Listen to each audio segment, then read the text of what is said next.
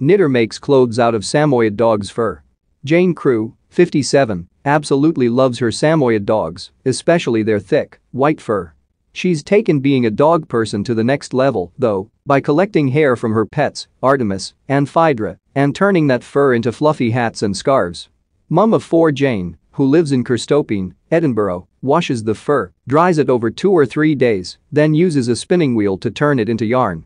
She then turns that yarn into cozy accessories. In lockdown, she decided to share this joy with other people, getting fur sent from 100 Samoyed owners then sending back the yarn their way. She is currently knitting a jumper, using single-ply yarn as using double-ply would be too warm to wear, and plans to make a blanket.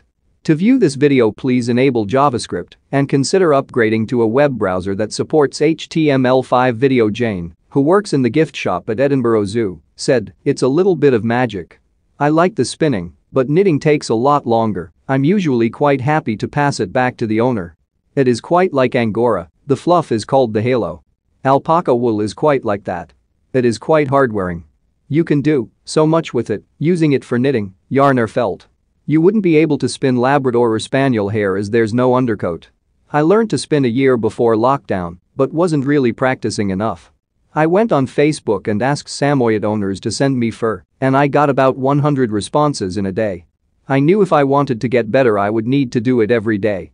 I've made all sorts of things, hats, scarves, teddies, it's not just me who does it, in the 1970s in America there was a woman who would spin and sell things made from Samoyed fur in her local market.